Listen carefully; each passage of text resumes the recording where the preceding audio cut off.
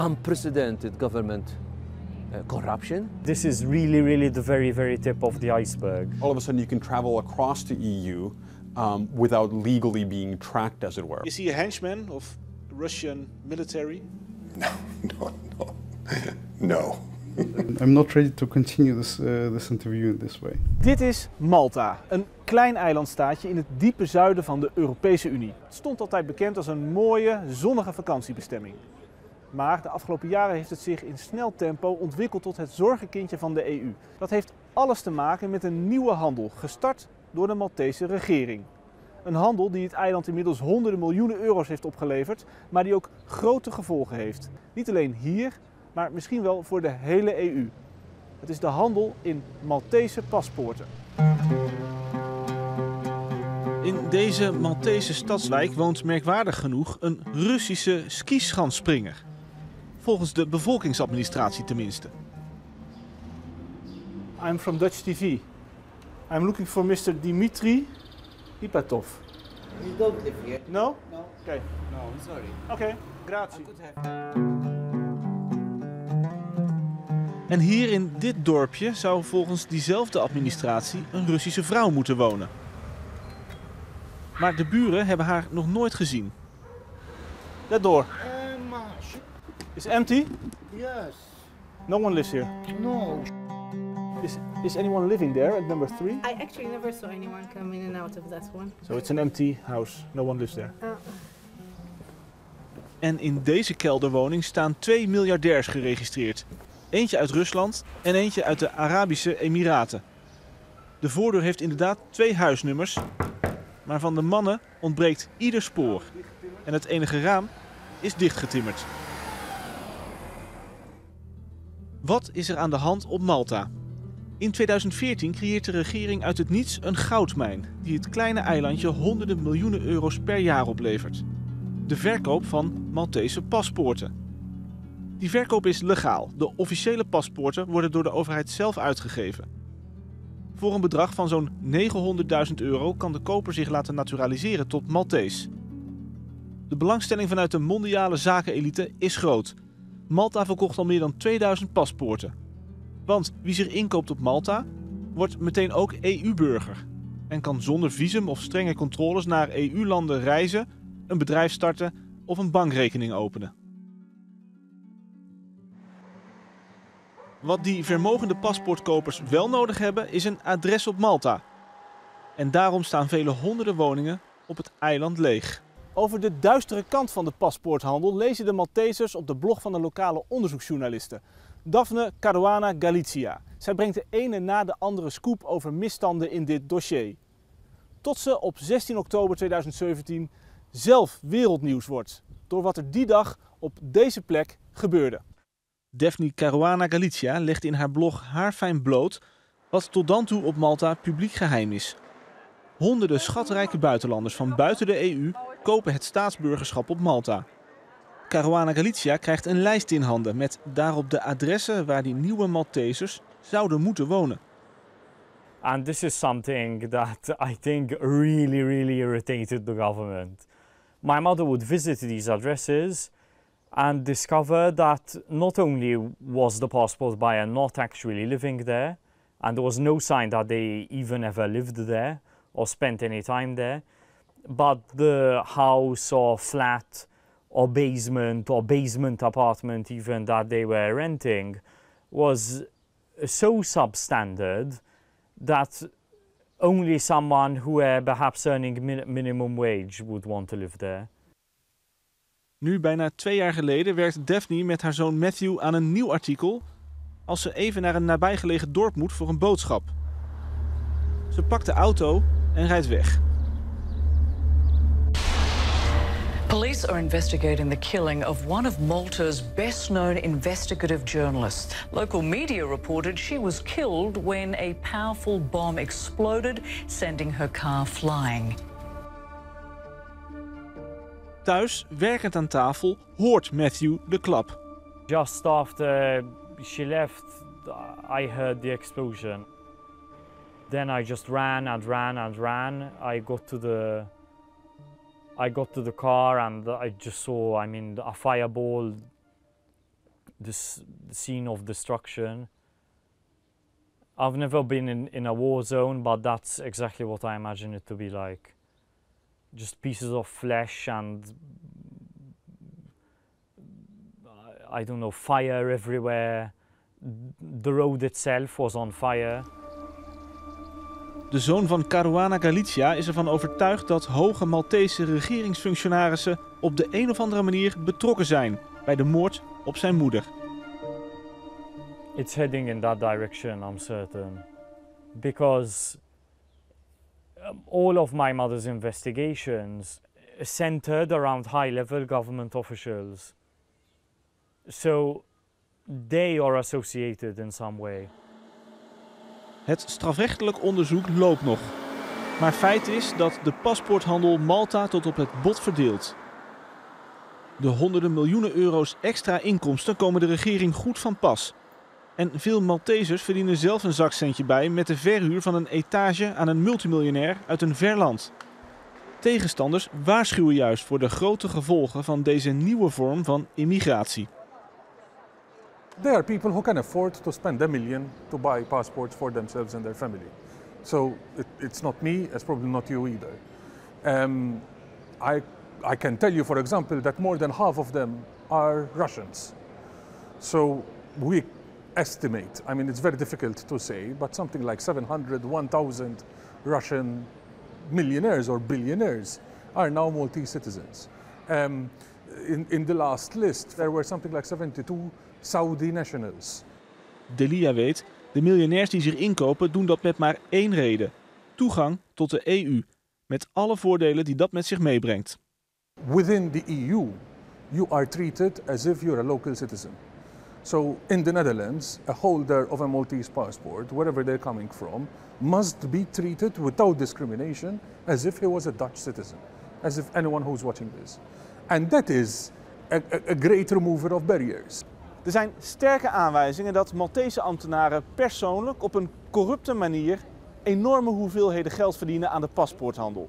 Het gaat om ambtenaren tot in de hoogste regeringskringen, zelfs tot in het kantoor van de belangrijkste politicus van Malta, premier Muscat. We are prostituting our identity, our passport, our nationality. It is just not the Maltese, but the European. Volgens Azzopardi is de enorme toevloed van euro's een bron van misstanden binnen de Maltese regering. This program has introduced, increased, inculcated unprecedented government uh, corruption, unprecedented abuse. People in the government. People in the government, definitely. People around the prime minister, yes. De Maltese overheid kon helaas niemand vinden die ons op camera te woord wilde staan over deze kwestie. Eén ding is volstrekt duidelijk. Premier Muscat en zijn regering zijn niet van plan om hun lucratieve handel in Maltese paspoorten stop te zetten. Dit is Keith Scambry, de hoogste ambtenaar van Malta en rechterhand van de Maltese premier Muscat. Nadat de naam van Scambry opduikt in de Panama Papers, publiceert Matthew Caruana Galizia over zijn betrokkenheid bij omkoping. Maltese frauderegisseurs die onderzoek doen naar de zaak stellen inderdaad vast dat Scambry grote bedragen ontvangt van Russische paspoortkopers. He received kickbacks directly into his bank account from the sale of passports to at least three Russian citizens. Do you know how much money that would be? Yes, we're talking a few hundred thousand euros here. But it's important to say that this is one of the few cases that we found out about due to sheer serendipity. It's uh, perfectly reasonable to assume that this is really, really the very, very tip of the iceberg. De fraudezaak is een probleem voor de Maltese regering. Want als de rechterhand van de premier corrupt is, hoe zit het dan met de premier zelf? Premier Muscat wordt verweten dat hij te nauwe banden heeft met de bedrijfstak die verdient aan de paspoorthandel. Dat zit zo. Muscat is verantwoordelijk voor een deal tussen zijn regering en Henley Partners van de Zwitser Christian Kalin. Dat bedrijf eet van twee walletjes. Aan de ene kant verdient het miljoenen als adviseur van de Maltese regering bij de verkoop van de paspoorten. Aan de andere kant verdient het geld met het adviseren van de mensen die het Maltese paspoort willen kopen. Voor die kopers organiseert Henley Partners over de hele wereld roadshows. En premier Muscat treedt daarop om zijn paspoorten aan te prijzen. We in Malta can safely claim to offer both stability and predictability. It is a fact that the Prime Minister of Malta is being ordered contractually by Henley and Partners to attend their roadshows abroad. Malta, of course, is now the most successful program in the world, raising over 1 billion euros within 18 months. Of course, it's understandable that the Prime Minister uh, Muscat comes to the most important events of that kind. Our ambition is always to see Malta reach the top spot as a country of destination for investment. 99% of the times that Henley organized a road show, London, Miami, Singapore, Dubai, Geneva, all the major cities of the world, Joseph Muscat, the Prime Minister of Malta, attended. Muscat ontkent alle beschuldigingen van belangenverstrengeling. Inderdaad, bewijs ontbreekt. Maar volgens zijn critici zorgt Muscat er zelf wel voor dat hij buiten schot blijft. They are corrupt. The institutions. The Prime Minister has removed four police commissioners in the last five years to make sure that there is always a police commissioner that plays to the tune set by the Prime Minister. There is impunity. So, yes, there are institutions on paper, but in reality, concretely, the institutions are hijacked. Deze verklaring is niet ongeloofwaardig. De rechercheurs die de corruptie van Keith Scambry onderzochten, zijn ontslagen. Zijn dossier ligt bij de politie te verstoffen. En Scambry is nog altijd in functie als rechterhand van Muscat. Als je als niet-Europeaan een Maltese paspoort koopt, dan gaan er hier dus plotseling allemaal deuren voor je open. Maar dat kan ook leiden tot een dreiging voor de nationale veiligheid. Malta heeft de achterdeur van de EU opengezet en het begint in Finland te tochten. Een Rus koopt daar allerlei eilandjes op, vlak voor de kust, op een strategische plek.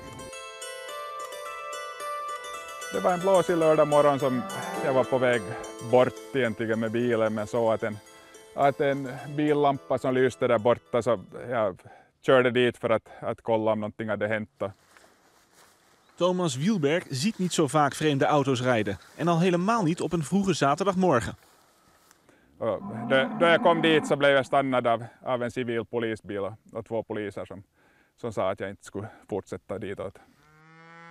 Het stille gebied rond de boerderij van Wielberg is het toneel van de grootste Finse militaire operatie sinds de Tweede Wereldoorlog. Keskusrikospoliisin suuroperaatiossa Turun saaristossa on otettu kiinni kaksi henkilöä. De Finse overheid sluit een deel van het luchtruim en 400 special forces en politieagenten voeren gelijktijdig invallen uit op verschillende locaties. De actie draait om deze man in het bezit van een Maltese paspoort. Hij bulkt van het geld en koopt in de loop der jaren steeds meer grond in de Turku-archipel voor de Finse kust. Niet één of twee, maar uiteindelijk zo'n 15 eilanden en ook twee oude Finse marineschepen. The Turku archipelago is one of the key shipping routes um, and harbors into Finland. So it's important from that way. And uh, it then extends far west um, to the Åland Islands and then very close to Sweden. Uh, so it, it has this maritime importance uh, for Finland and a little bit, I guess, for Sweden too. De man heeft het Maltese paspoort gekocht. Maar hij komt uit het grote buurland van Finland. Het is een Rus. Hij heet Pavel Melnikov en zou een fortuin hebben verdiend in de loodgieterij in zijn thuisland. De eilanden die hij koopt liggen niet alleen langs belangrijke aanvoerroutes, maar ook bij de grootste marinebasis van Finland. Een Rus die in dit gebied zoveel grond opkoopt, dat ligt zeer gevoelig, zegt Salonius. I think it's the context of, of everywhere in Europe, but also in Finland, thinking, okay, it's clear that Russia has an ability and an intent to try to influence other countries. to Prepare. It doesn't mean that there has to be one order which is then done with a specific purpose. It's a general one. You could say, um, hey, um, you can invest there. It could be money laundering, it could be to park your assets there. And if you ever need, um, we can come and help there. Or if we need anything, you can help us. Melnikov wordt in Finland vertegenwoordigd door zijn advocaat Kari Uoti. Volgens hem is er weinig bijzonders aan de hand. He himself told that, you know, some people uh, collect paintings, some people collect cars. He collects islands. Why? He just likes them.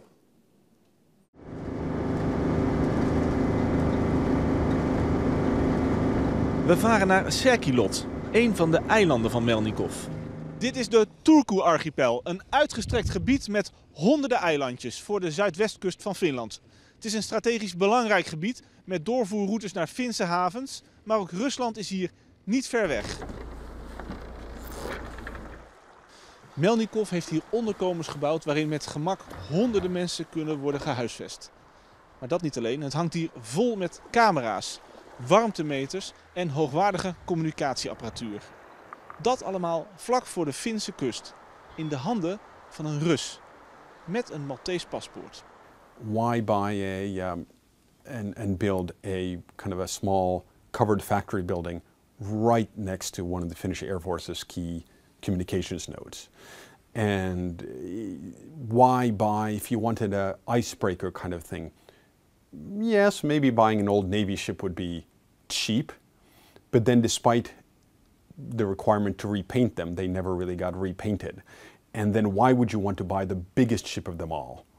Um, which then the defense ministry ultimately said no. Mr. Melnikov, your client, is he a henchman of Russian military? No. No, no. no. Terug naar het Maltese paspoort van Melnikov. De onderzoeksleider van de Finse politie laat schriftelijk aan Nieuwsuur weten dat Melnikov het document inderdaad gebruikte. Zijn Maltese paspoort heeft Melnikov gebruikt om mee te reizen. Ander gebruik is nog onderwerp van onderzoek. Why did he buy this passport? Uh, I don't know. It has happened some, you know, before my time. I have not had any any discussions regarding the passport.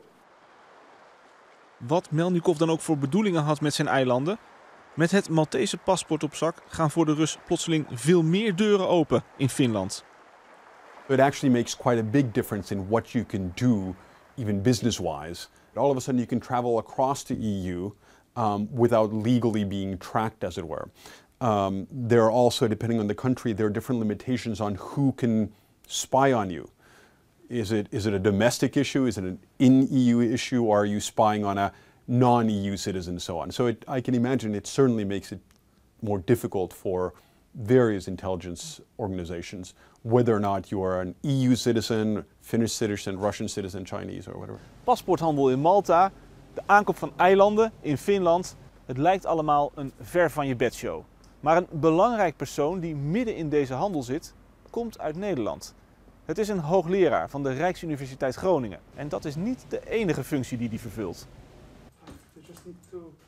De Groningse hoogleraar Dimitri Kotchenov is druk. Hij heeft afspraken in Rotterdam, Brussel en Minsk. Maar de in Rusland geboren wetenschapper maakt graag tijd voor een interview in Hilversum. Hoe lang woont u nu in Nederland? Uh, bijna 20 jaar, denk ik. Uh, 17 jaar of zoiets. Sinds 2002. En u bent ook Nederlander? Ja, natuurlijk. Kotchenov wordt ook wel de paspoortprofessor genoemd. Hij heeft een indrukwekkend cv opgebouwd aan universiteiten in Mexico, de Verenigde Staten, Japan, Italië en dus Groningen. Hij bezoekt overal ter wereld congressen en bijeenkomsten, spreekt daar regeringsleiders toe en discussieert met advocaten en adviseurs die vermogende kopers van paspoorten bijstaan. Op zijn verzoek spreken we Engels en hij legt uit hoe hij die Maltese paspoorthandel ziet.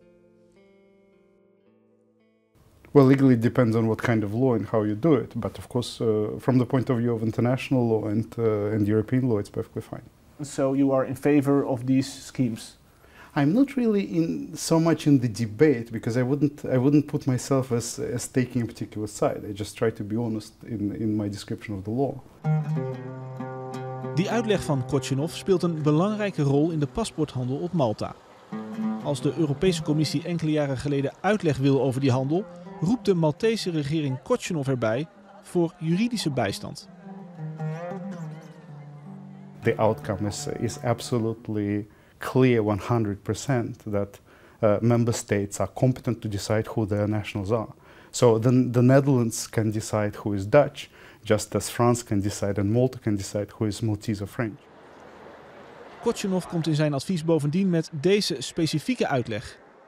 Wie ingezetene van Malta wil worden, hoeft niet op het eiland te wonen. It's absolutely clear if we speak about naturalization that there is no requirement of residence or presence. Kotchenovs advies wordt door de Maltese regering overgenomen en is een factor in het succes van de handel in het paspoort. Russen, Chinezen en Arabieren kunnen Maltees en EU-burger worden zonder dat ze op Malta hoeven te gaan wonen. Maar op Malta valt dat advies bij veel mensen juist verkeerd. He came with this spectacular, spectacularly fascinating answer that they don't have to live here in being residents of Malta because residence is a legal concept, not a physical concept. In order to provide a sort of acceptable veneer uh, to what they're doing, they wheel in Dmitry Kochenov as a prop and get him to make these statements that redefine the concept of residency, make them seem very avant garde and forward looking. But really, what he's doing is providing arguments to justify the sale of passports for cash. I have nothing to say to those people. I, uh, my, my expertise. Well, you advise the government, so. My so once again, my expertise is EU law. So I, uh, I was asked, as, as it always happens, you're asked a concrete question if there is a legal problem, and you, you give an answer to that question based on the knowledge and the, the testing of the law.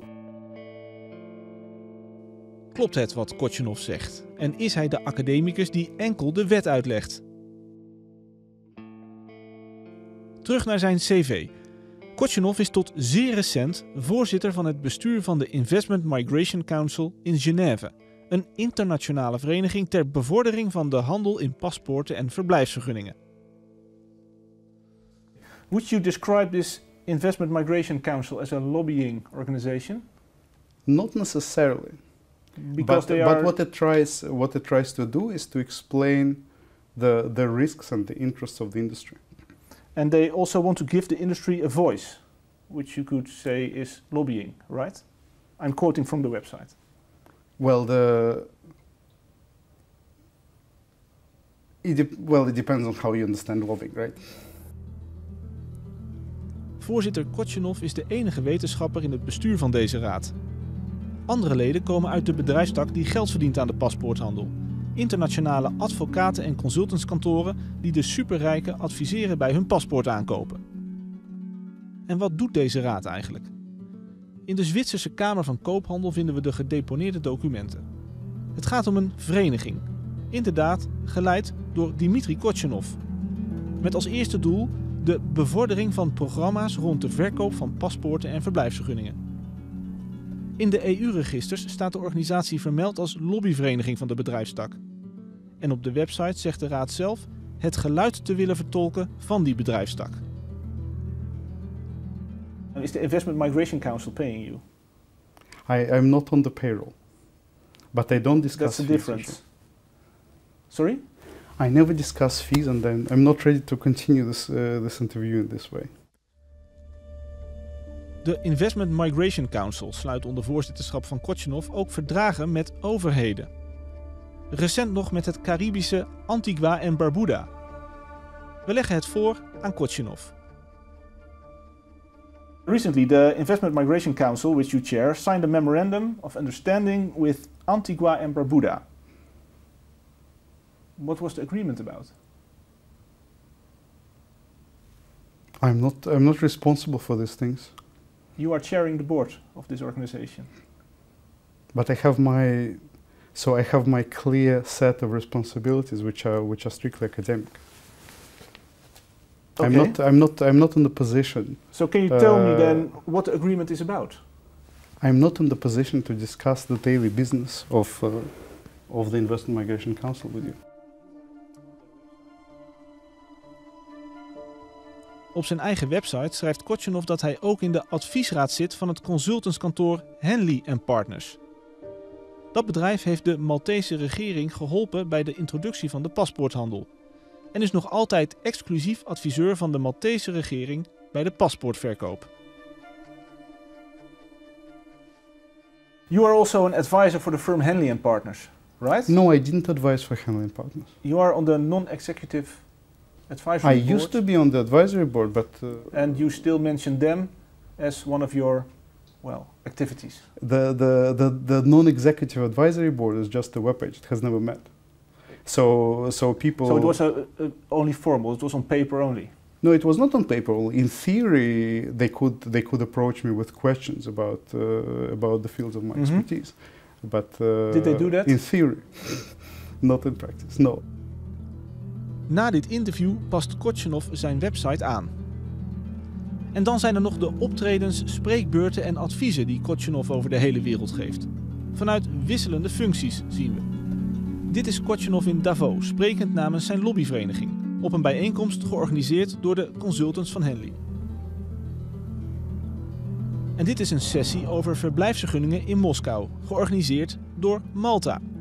Kotchenov spreekt er als consultant, maar in het programmaboekje wordt hij dan weer aangekondigd als hoogleraar, samen met het logo van de Rijksuniversiteit. In what capacity were you there then? Just as a private consultant. But in the program booklet it says you were there as an academic from the University of Groningen. Well, because I edited uh, I edited papers about this, and I Yes, I I have know, I have a deep knowledge of of what is going on. The interest of a consultant is something different than the interest of an academic. And you were here, according to what we see on your website and the program booklet, as maybe both or none of these capacities? Well, my task is is to share the knowledge about about citizenship law and, and residence law. Na het interview met Kotchenov stuiten we op nog meer informatie.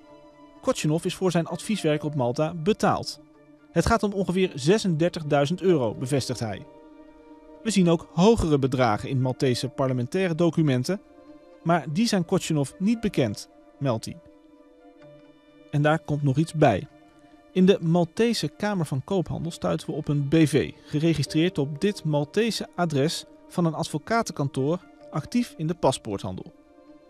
Kotchenov is één van de twee bestuurders van deze commerciële onderneming. Doel van het bedrijf? Het promoten van bewustzijn rond de handel in paspoorten. Alhoewel Kotchenov zelf juridisch gezien mede verantwoordelijk is voor deze BV, verwijst hij voor vragen over de dagelijkse gang van zaken door naar zijn collega-directeur. Kotchenov is de afgelopen jaren fulltime hoogleraar in Groningen en doet studie naar de controversiële handel in de paspoorten. Hij is daarnaast voorzitter van de lobbyvereniging van bedrijven die geld verdienen aan advies bij de paspoortverkoop. Hij is directeur van een dochter-BV van die vereniging op Malta, die ook actief is in de wereld van de paspoorthandel. Hij was op papier adviseur van een consultantskantoor dat adviseert bij de handel in paspoorten. En hij adviseerde betaald de Maltese overheid bij het opzetten en uitvoeren van die handel. De bijbanen van Kotchenov zijn onderwerp van kritiek in de Maltese politiek. My problem is that he's advising a corrupt program. My problem is he's consultant to a company which is making millions of the sale of the Maltese uh, passport. My problem is that he went to the European Commission and basically took over the role of the Maltese Attorney General. He went to the European Commission to defend the interests of Henley and Partners, not of the Maltese um, country. I have a problem with that, yes. Wouldn't it be wise to take more distance from this industry as an academic working in this field? I don't think there is a, th- there is a direct problem actually. To be to, be honest with you. Okay, cheers. Ciao, ciao. Thank you. Nu je dit hele verhaal hebt uitgekeken, is er één ding in ieder geval duidelijk. Je houdt van onderzoeksjournalistiek. En dan is er eigenlijk maar één ding wat je kan doen. Abonneer je op ons YouTube kanaal en je krijgt nog veel meer van dit soort verhalen te zien.